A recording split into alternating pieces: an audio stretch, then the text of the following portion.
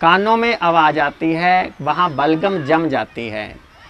जब आप भोजन सुधार करेंगे, वो बलगम पिघल जाएगी।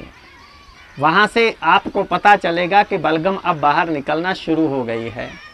और साथ में कान में अगर आप प्याज का रस बरतने में कोई परहेज नहीं करते हो तो प्याज का रस डाल लेना। अगर वो नहीं करना तो एक मरवा का पौधा होता है जिसको मरुआ भी बोलते हैं, जिसको न्याजबो भी बोलते हैं, उसके पत्तों का रस कान में डाल लेना।